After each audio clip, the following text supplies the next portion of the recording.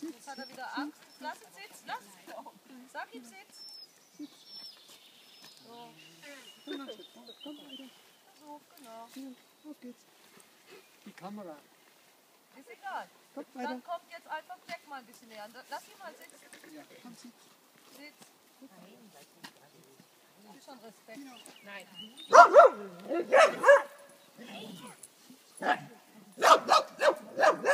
Sitzen. Sitzen. Hallo. So, wir sehen jetzt, dass er Angst hat. Wir zwingen ihn jetzt mal nicht ins Sitz, sondern geht mal einfach wieder aneinander vorbei. Er muss erst mal Vertrauen fassen. Er hat schon Angst. Du musst es jetzt mit Stimme machen. Dann geht ihr wieder auf euren Platz. Sitzen. Gut.